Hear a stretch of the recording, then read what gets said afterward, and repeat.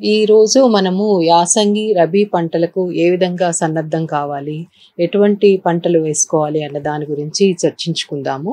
ఇందులో ముఖ్యంగా మనము చూసినట్టయితే ఇప్పటి వరకు తెలంగాణ రాష్ట్రంలో వర్షపాతం చూసినట్టయితే అన్ని మండలాలలో ఉత్తర తెలంగాణ మధ్య తెలంగాణ మండలాలలో ఇరవై ఎనిమిది నుంచి ముప్పై ఏడు వరకు అత్యధిక వర్షపాతం నమోదైనది.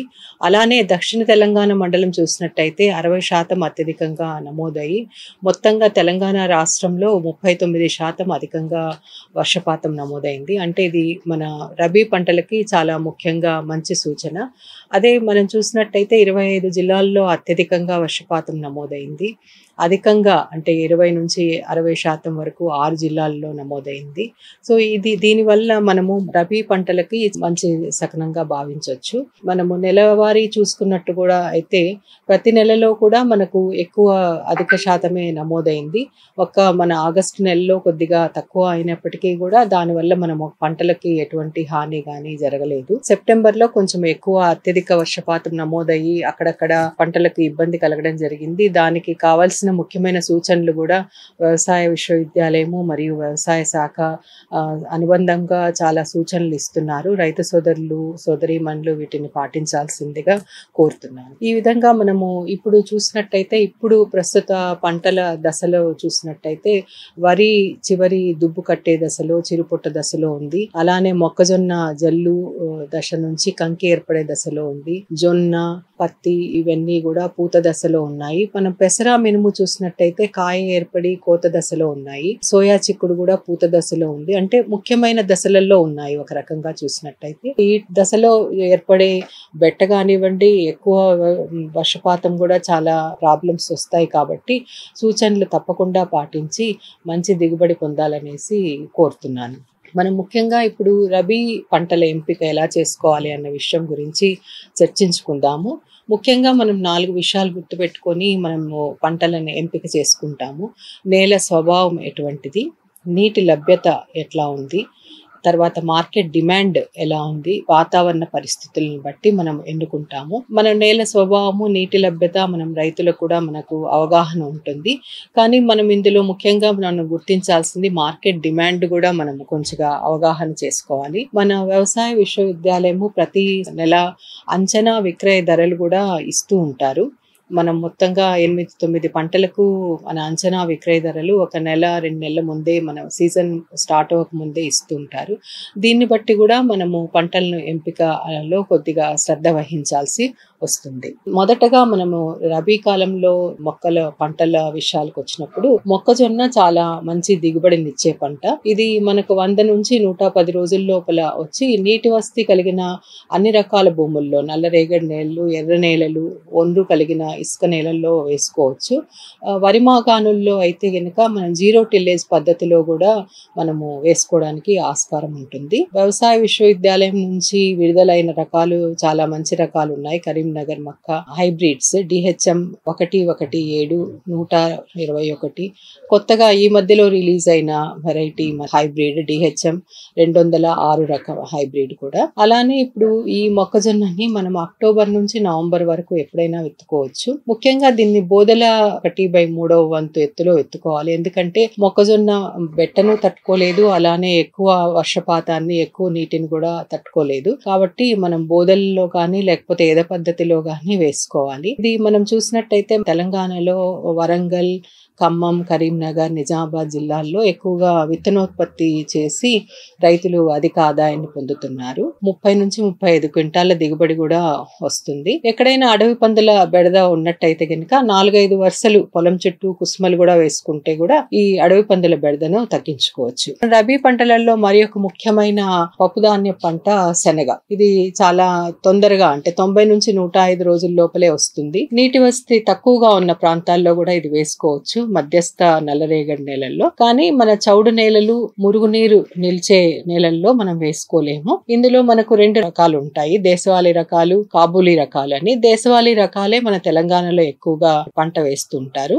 దీంట్లో జేజీ పదకొండు జేజీ నూట ముప్పై జేఏకేఐ తొమ్మిది రెండు ఒకటి ఎనిమిది ఎన్బిఈజీ అంటే నంద్యాల నుంచి విడుదలైన రకాలు చాలా ఉంటాయి. నలభై ఏడు నలభై తొమ్మిది డెబ్బై ఏడు అరవై ఒకటి నూట పంతొమ్మిది నాలుగు వందల యాభై యాభై రెండు. ఇవన్నీ కూడా ముఖ్యంగా ఎన్బిఈజీ నాలుగు వందల యాభై రెండు జేఏకేఐ తొమ్మిది రెండు ఒకటి ఎనిమిది రకాలు. వ్యవసాయ పరిశోధనా స్థానం ఆదిలాబాదు మరియు తెలంగాణ స్టేట్ సీడ్ కార్పొరేషన్లో కూడా దొరుకుతున్నాయి. కాబట్టి ఈ రకాలు మీరు తీసుకోవచ్చు. కాబూలి రకాలు మన తెలంగాణలో పెద్దగా ఎక్కువగా రైతులు వేస్తున్నట్లు లేరు. కానీ ఈ కాబూలి రకాలు కూడా మనం కొన్ని ఇక్కడ ఇవ్వడం జరిగింది. అలానే విత్తే సమయం చూసినట్టయితే అక్టోబర్ నుంచి నవంబర్ పదిహేను వరకు విత్తుకోవచ్చు. దీన్ని ముఖ్యంగా మనం మొక్కజొన్న పంట తర్వాత లేకపోతే జొన్న పెసర మినుము వేసిన తర్వాత శనగ వేసుకోవచ్చు. సోయా చిక్కుడు తర్వాత కూడా ఇది చాలా మంచి పంట. అక్కడ కూడా ఏంటంటే అడవి పందులు బెడద ఉన్నప్పుడు నాలుగైదు వరుసల పొలం చుట్టూ కుసుమలు వేసుకోవడం అనేది చాలా మంచి పద్ధతి. ముఖ్యంగా వేరుశెనగ. వేరుశెనగ మనకు చాలా ముఖ్యమైన నూనె గింజల పంట. ఇది వంద నుంచి నూట పది రోజుల లోపల వస్తుంది. ఇసుకతో గుంటిన గరప నేలలు నీరు ఇంకే ఎర్ర చల్కా నేలలు వీటికి కొద్దిగా నీటి వస్తే అంటే ఒక మూడు నుంచి నాలుగు తడులు ఇచ్చే వసతి ఉన్నప్పుడు ఇది వేసుకోవచ్చు. ఇందులో కూడా రెండు రకాలు ఉంటాయి. స్పానిష్ గుత్తి రకాలు వర్జీనియా రకాలు. తెలంగాణలో ఎక్కువగా మనం స్పానిష్ గుత్తి రకాలనే వేస్తున్నాము. టీసీజీఎస్ పదహారు తొంభై నాలుగు టీఏజీ ఇరవై ఒకటి కదిరి ఆరు తొమ్మిది రకాలు. ఇవి కూడా మన వ్యవసాయ పరిశోధన స్థానము. పాలెం దగ్గర నుంచి కేవీకేలో కూడా ఇది కొద్ది మొత్తంలో మన మీరు తీసుకోవచ్చు. నాగర్ కర్నూల్ వనపర్తి మహబూబ్ నగర్ గద్వాల్ మహబూబాబాద్ వికారాబాద్ సూర్యాపేట్ మరియు నల్గొండ జిల్లాల్లో ఈ వేరుశనగ చాలా బాగా వస్తుంది. మంచి పంటగా కూడా గుర్తింపు పొందింది. మనం విత్తే సమయం చూసుకున్నట్టయితే దక్షిణ తెలంగాణలో సెప్టెంబర్ మొదటి పక్షం నుంచి అక్టోబర్ రెండవ పక్షం వరకు వేసుకోవచ్చు. అంటే ఈ వర్షాలకి ఏదన్నా మొక్కలు పాడయి పంట పాడైనప్పుడు కూడా ఇది మనం సెప్టెంబర్లో దున్నుకొని వేరుశనగ వేసుకోవచ్చు. ఉత్తర తెలంగాణలో అక్టోబర్ రెండవ పక్షం లోపు వేసుకోమని సలహా ఇస్తున్నాము. అలానే మనము దిగుబడి చూసుకున్నట్టయితే పది నుంచి పన్నెండు క్వింటాల వరకు ఉంటుంది. ఇక్కడ మనము పంట సాంద్రత చాలా కరెక్ట్గా మెయింటైన్ చేయాల్సి ఉంటుంది. మన అధిక దిగుబడి రావడానికి పంట సాంద్రత మనము నాలుగు లక్షల నలభై నాలుగు వేల వరకు మనము చేయాల్సి ఉంటుంది. దానికోసం ఏంటంటే మనం విత్తే దూరము ఇరవై రెండు పాయింట్ ఐదు ఇంటూ పది సెంటీమీటర్ల దూరంలో విత్తుకోవాలి. ముఖ్యంగా మనం పంటల సరళి గమనించినట్టయితే ఆహార ధాన్య పంట అయిన మొక్కజొన్న తర్వాత రబీలో వేరుశెనగ అన్నది చాలా మంచి లాభసాటి పంట. సజ్జ కూడా వేసుకోమంటున్నాం వేరుశెనగలో ముప్పై ఐదు నుంచి నలభై సార్లకు. ఎందుకంటే దీనివల్ల తామర పురుగుల వ్యాప్తి అరికట్టి కాండం కుళ్ళు మరియు మొవ్వు కుళ్ళు వైరస్ను కూడా మనం తగ్గించుకోవచ్చు. ముఖ్యమైన పంట కుసుమ పంట. ఇది మనకు కొన్ని సమస్యాత్మక భూములలో క్షారత్వం కలిగిన భూములలో మనం వేసుకోవచ్చు. నీరు నిలువని నల్లరేగడి నేలలు నీటి వసతి గల ఎర్ర గరప నేలలు బాగా అనుకూలము. ఈ పంట ముఖ్యంగా మనం సంగారెడ్డి నిజామాబాద్ కామారెడ్డి వికారాబాద్ నిర్మల్ జిల్లాల్లో సాగులో ఉన్నది. వర్షాభావ పరిస్థితుల్లో మనం ఖరీఫ్ పంటలు సరిగా రానప్పుడు ఈ కుసుమ మంచి ప్రత్యామ్నాయ పంట. పంట కాలం నూట ఇరవై ఐదు రోజుల నుంచి నూట ముప్పై ఐదు రోజుల వరకు ఉంటుంది. రకాలు చూసుకున్నట్టయితే ఐఎస్ఎఫ్ ఏడు వందల అరవై నాలుగు అంటే ఇది అఖిల భారత నూనె గింజల పరిశోధన సంస్థ నుంచి విడుదల చేయబడ్డ రకము. చాలా మంది రైతుల దగ్గర కూడా ఇది ప్రాచుర్యంలో ఉన్నది. అలానే టిఎస్ఎఫ్ ఒకటి ఏఎస్ఎఫ్ నాలుగు వందల పద్నాలుగు రకాలు కూడా చాలా మంచి రకాలు. దీన్ని కూడా మనం అక్టోబర్ నుంచి నవంబర్ పదిహేను వరకు ఎప్పుడైనా విత్తుకోవచ్చు. చాలా మంది రైతులు దీంతో పాటు శనగ ధనియాలు కూడా మూడు ఇస్టు ఒకటి నిష్పత్తిలో వేసుకుంటూ ఉంటారు. ఇది కూడా చాలా మంచి పద్ధతి. అంతర్ పంటలు అన్నది మనకు రబీలో కానీ మనకు ఒక ప్రత్యామ్నాయంగా ఉంటుంది. అలానే పంటల సరళిని చూసుకున్నప్పుడు మొక్కజొన్న జొన్న పెసర నువ్వులు తర్వాత కుసుమలు అనేది రెండవ పంటగా వేసుకోవచ్చు. దిగుబడి చూసుకున్నట్టయితే ఇది ఆరు నుంచి ఎనిమిది క్వింటాల దిగుబడి వరకు ఇస్తుంది. అలానే మరి ఒక ముఖ్యమైన పంట ప్రొద్దుతిరుగుడు పంట. ఇది నూనె గింజ పంట.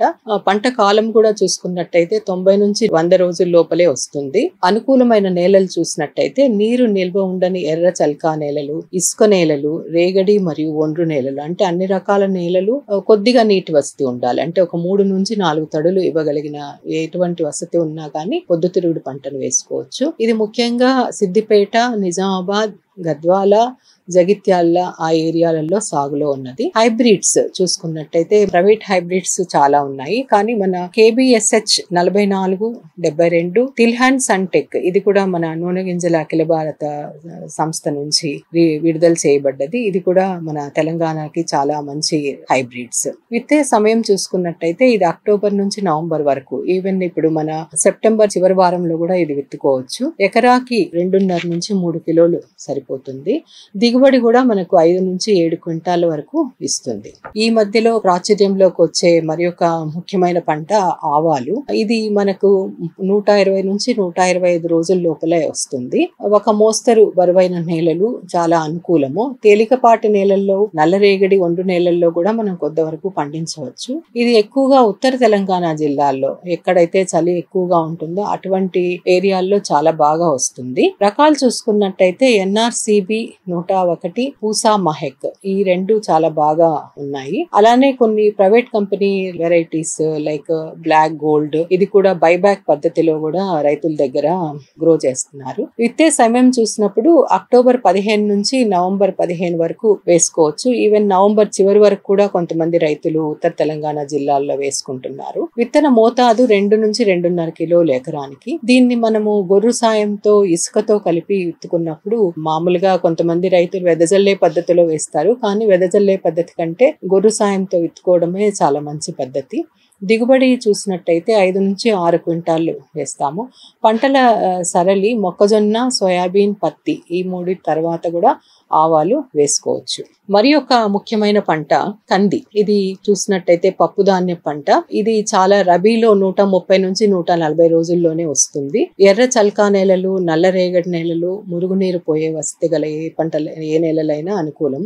కానీ మనం చౌడు నేలలు నీటి ముంపున గురయ్యే నేలల్లో మాత్రం కందిని వేసుకోవద్దు. రకాలు చూసినట్టయితే వ్యవసాయ విశ్వవిద్యాలయం నుంచి విడుదలైన వెరైటీస్ చాలా ఉన్నాయి మనకి. ఎల్ఆర్జీ ఫార్టీ వన్ అంటే ఇది లాంగ్ ఫామ్ నుంచి డబ్ల్యూఆర్జి రెండు వందల యాభై ఐదు టీడీఆర్జి యాభై తొమ్మిది టీడీఆర్జి నాలుగు ఈ రెండు తాండూరు నుంచి రిలీజ్ అయిన వెరైటీస్. ఇవన్నీ కూడా చాలా మంచి అనుకూలమైన రకాలు. మన వ్యవసాయ పరిశోధన స్థానంలో సీడ్ కూడా అవైలబిలిటీ ఉంది. విత్తే సమయం చూసుకున్నట్టయితే ఇది పదిహేను సెప్టెంబర్ నుంచి పదిహేను అక్టోబర్ వరకు విత్తుకోవచ్చు. నల్లరేగడి నేలల్లో మధ్యస్థ చరకా నేలల్లో కొద్దిగా విత్తే దూరంని కొద్దిగా నల్లరేగడి నేలలో ఎక్కువగా మధ్యస్థ చలకా భూమిలో కొద్దిగా తక్కువగా వేసుకోవాలి. దిగుబడి చూసినట్టయితే ఏడు నుంచి పది క్వింటాల దిగుబడి వస్తుంది. పంటల సరళి కూడా మొక్కజొన్న తర్వాత వేసుకోవచ్చు తర్వాత పెసర తర్వాత కూడా కంది వేసుకోవచ్చు. అలానే అంతర పంటలుగా కూడా ఇది జొన్న మొక్కజొన్న సజ్జతో పాటు కందిని వేసుకోవడం అనేది చాలా మంది రైతులు చేసే పని. మొక్కజొన్న జొన్న సజ్జ తీసివేసిన తర్వాత కందిని ఒకసారి ఇంటర్ కల్టివేషన్ చేసుకొని పైపాటు ఎరువులు వేసుకున్నట్టయితే కంది పూత దశ నుంచి చాలా బాగా వస్తుంది. దీని తర్వాత మరొక ముఖ్యమైన పంటలు పప్పుధాన్య పంటలైన పెసర మినుము. ఈ రెండు కూడా ముఖ్యంగా ఏంటంటే పంట కాలం చాలా తక్కువగా ఉంటుంది కాబట్టి తొందరగా ఇవి వస్తాయి. అలానే ఎండాకాలము మరి వేరే కొత్త పంట వేసుకోవడానికి కూడా అవకాశం ఉంటుంది. సో ఇక్కడ మినిమం చూసుకున్నట్టయితే డెబ్బై నుంచి ఎనభై ఐదు రోజుల లోపలే పంట కాలం ఉంటుంది. నల్లరేగడి నేలల్లో చాలా బాగా వస్తుంది. చౌడు నేలలు మురుగు నీరు నీరు నిలిచే నేలల్లో మనం వేసుకోకూడదు. రకాలు చూసినట్టయితే వ్యవసాయ విశ్వవిద్యాలయం నుంచి వచ్చిన వెరైటీస్ చాలా ఉన్నాయి. ఎంబీజీ వెయ్యి డెబ్బై. ఇది కొత్తగా రెండు వేల ఇరవై రెండులో విడుదల చేయబడ్డ రకము. అలానే టీబీజీ నూట నాలుగు. ఎల్బీజీ ఇరవై ఐదు వందల ఇరవై మూడు ఏడు వందల యాభై రెండు ఏడు వందల ఎనభై ఏడు వియు థర్టీ వన్. ఇవి చాలా మంచి రకాలు. రబీలో అయితే పదిహేడు పదిహేను సెప్టెంబర్ నుంచి అక్టోబర్ పదిహేను వరకు విత్తుకోవచ్చు. వరి మాగాణుల్లో అయితే వెదజల్లే పద్ధతిలో జీరో టిల్లేజ్ పద్ధతిలో నవంబర్ నుంచి డిసెంబర్ వరకు కూడా విత్తుకోవచ్చు. దిగుబడి చూసినట్లయితే మనకు ఆరు నుంచి ఎనిమిది క్వింటాల దిగుబడి ఇస్తుంది. పంటల సరళి కూడా మొక్కజొన్న తర్వాత వేసుకోవచ్చు. అలానే వరి తర్వాత మొక్కజొన్న వేసి ఎండాకాలంలో కూడా మినుమును వేసుకోవచ్చు. మరి యొక్క ముఖ్యమైన పంట పెసర. ఇది కూడా చాలా మార్కెట్ డిమాండ్ అది చూసినప్పుడు మార్కెట్లో కూడా రేటు చాలా ఎక్కువ ఉంటుంది. ఎప్పుడు కూడా స్థిరంగా కూడా ఉంటుంది. పంట కాలము అరవై నుంచి డెబ్బై ఐదు రోజులు. అనుకూల నేలలు నీటి వసతి తక్కువగా ఉండి తేమను పట్టి ఉంచి అన్ని రకాల భూముల్లో కూడా మనం సాగు చేయొచ్చు. రకాలు చూసినట్టయితే మన వ్యవసాయ విశ్వవిద్యాలయం నుంచి వచ్చిన వెరైటీస్ చాలా ఉన్నాయి. డబ్ల్యూజీజీ నలభై రెండు ఉన్నది చాలా మంచి రకము. అలానే ఎంజీజీ మూడు వందల యాభై ఒకటి మూడు వందల ఎనభై ఐదు ఐపీయు రెండు డాష్ పద్నాలుగు డబ్ల్యూజీజీ నలభై రెండు రకాలు చాలా ముఖ్యమైన రకాలు. ఖరీఫ్ వరి తర్వాత కూడా ఖమ్మము వరంగల్ జిల్లాల్లో పదిహేను నవంబర్ నుంచి డిసెంబర్ వరకు కూడా ఈ పెసర్ను వెదజల్లే పద్ధతిలో వేసుకుంటారు. దిగుబడి చూసినట్టయితే ఆరు నుంచి ఎనిమిది క్వింటాల దిగుబడిని ఇస్తుంది. ఇది కూడా మొక్కజొన్న తర్వాత పెసర వేసుకోవచ్చు. అలానే వరి తర్వాత మొక్కజొన్న వేసి తర్వాత కూడా పెసర వేసుకోవచ్చు. తర్వాత మన ముఖ్యమైన ఇది కాకుండా మనము ఇంకా మాగి జొన్న తర్వాత మన సజ్జలు రాగులు కూడా వేసుకోవచ్చు. కొద్ది ఏరియాల్లో ఎక్కడైతే మనకు మంచి పంట రకాలు ఉన్నప్పుడు అవి కూడా మాగి జొన్న సజ్జలు రాగులు కూడా వేసుకోవచ్చు. మరి కొంతమంది రైతులు వరి వేసుకోవాలని సమస్య వస్తుంది. ఎందుకంటే నీరు వాళ్ళకు కెనాల్లో నీరు విడుదల చేయడం వల్ల కావచ్చు. తర్వాత వాళ్ళ ఉన్న పొలాల్లో నీరు నిల్చుంటుంది కాబట్టి వాళ్ళకి ఖచ్చితంగా వరి వేసుకోవాల్సిన అవసరం ఉంటుంది. అలాంటి పరిస్థితుల్లో ఇది కూడా మనము వేసుకోవచ్చు. కానీ మనం సెప్టెంబర్లో ఇప్పుడే వేసుకోవడానికి కుదరదు. ఎందుకంటే సెప్టెంబర్లో వేసుకుంటే మనకు మన పూత దశ మనకు చలికి వస్తుంది కాబట్టి ఈయనే మనం తొందరగా బయటికి రాదనమాట. అందువల్ల ఖచ్చితంగా మనం విత్తే సమయం నవంబర్ డిసెంబర్లోనే విత్తుకొని వేసుకోవాలి. రకాలు కూడా మన వ్యవసాయ విశ్వవిద్యాలయం నుంచి వచ్చిన రకాలు చాలా ఉన్నాయి. మధ్యకాలిక రకాలు స్వల్పకాలిక రకాలు చాలా ఉన్నాయి. అండ్ చాలా వ్యవసాయ పరిశోధనా స్థానాల్లో కూడా మనకు ఇది అవైలబిలిటీలో ఉన్నాయి. వెదజల్లే పద్ధతిలో కూడా కొంతమంది రైతులు సాగు చేస్తున్నారు. మన ఖమ్మం వరంగల్ నల్గొండ ఇక్కడ చేస్తున్నారు. ఇక్కడ చలి తక్కువగా ఉండే జిల్లాలు కాబట్టి ఇక్కడ పద్ధతి అనుకూలంగా ఉంటుంది. కానీ సమస్యాత్మక భూములు ఏదైతే చౌడు ఉన్నా క్షారం ఉన్నా ఆమ్లం నేలల్లో మాత్రము ఈ వెదజల్లే పద్ధతిని తర్వాత ఈ రబీలో కూడా మనం వరి వేసుకోకుండా ఉండడం చాలా మంచిది. దిగుబడి మనకు రెండున్నర నుంచి మూడు టన్నుల వరకు వస్తుంది. మనము తర్వాత ఈ విత్తనాలు ఎక్కడెక్కడ దొరుకుతాయి అన్నదానికి మనము చూడొచ్చు. ప్రతి పంట మనం ఇప్పుడు పేర్కొన్న ప్రతి పంట కూడా పెసర మినుము కంది శనగ వేరుశనగ కుసుమలు నువ్వులు. నువ్వులు కొంచెం మనం జనవరిలో వేసుకోవచ్చు. ఇవన్నీ కూడా మనకు మన దగ్గర అంటే మన వ్యవసాయ పరిశోధన స్థానాల్లో ఉన్నాయి. అలానే Telangana state seed development corporation దగ్గర కూడా చాలా రకాల రకాలు అందుబాటులో ఉన్నాయి. కాబట్టి రైతు సోదరి మనులను కూడా విన్నపం ఏంటంటే మీకు కావలసిన విత్తనాలని మీరు తొందరగా అంటే ఎందుకంటే వచ్చిన రైతులకు వచ్చినట్టు మనం ఇస్తూ ఉంటాం కాబట్టి కొద్ది మొత్తంలో విత్తనాన్ని తీసుకొని ఈ విత్తనాన్ని మీరు మళ్ళీ వచ్చే సంవత్సరం కూడా వేసుకునేటట్టు మీరే విత్తనాన్ని పండించుకోవడం అనేది చాలా మంచి పద్ధతి. ఈ విధంగా చేసి మీరు అధిక దిగుబడులు అధిక ఆదాయము తెచ్చుకుంటారనేసి సభాముఖంగా మనవి.